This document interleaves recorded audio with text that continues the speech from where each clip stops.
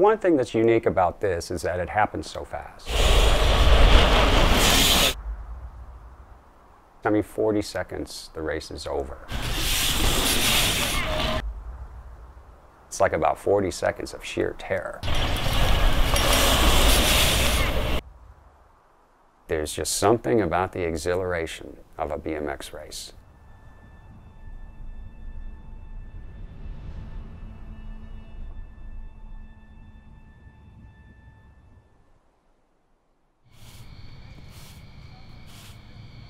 My name is Mark Auble.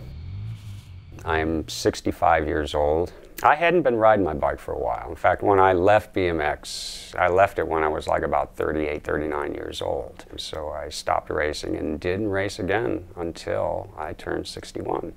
And that's when I came out here. When I first came back to BMX here at Capital City BMX, it's just like I knew I was going to be riding my bike and probably racing again, but the thing I had forgotten about are the people. You know, I mean, the people are really the key to the whole thing. There was an energy here, you know, and it's just, and it's a type of energy that floats all boats.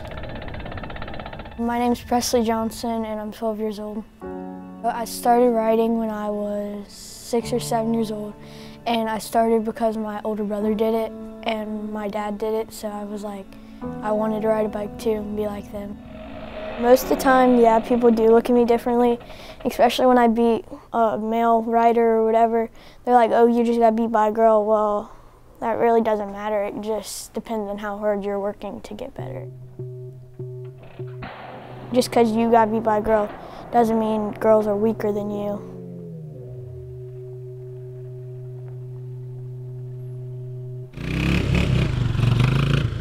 People who run the track and help with the track, it all comes out of their heart and it's volunteer ran. There's no getting paid or anything like that. They run it so we can have fun and race on it every weekend.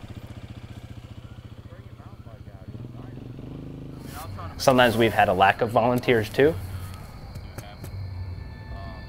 I kind of knew that if it, I didn't help get a lot of it done, it wasn't going to get done. I think in general, it's actually almost kind of made me become a different person. So, do any of you guys that race already, do you watch the lights or do you listen to the beeps? Beep. Listen? Okay, so for the new guys, there's two ways the gate's gonna drop. You'll hear beeps, the gate will drop, or you can look at those lights and the gate will drop. All right, guys, here we go. Okay, riders, random start. Riders ready, watch the gate.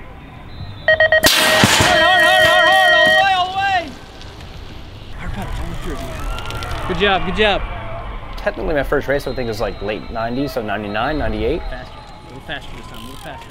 Hard pedals, hard pedals, hard pedals. Always rode trails and dirt jumps and stuff with my buddies, but didn't actually get into racing until the late 90s. 2009 was actually the first time Max, I came to Capital City. Chase him, chase him, chase him. All right, silly fun one. All right, good. Everybody have fun?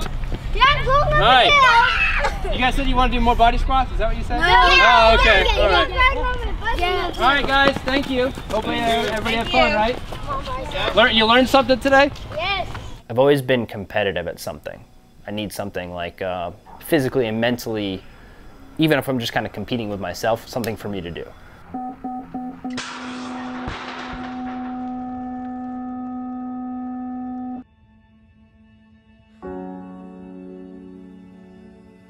The thing you do just before you get in the gate, you, you, you try to, to get yourself in that moment in time, you know, where you are now.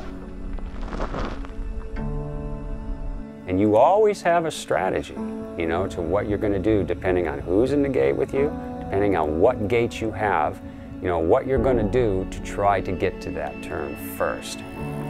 Okay, riders, random start. Ready, watch the gate.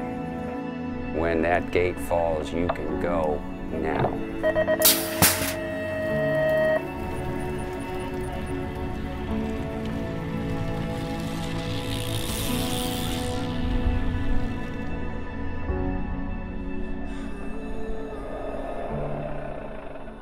this is like flying. You know, it's just this is a, this this is must be what it feels like to fly.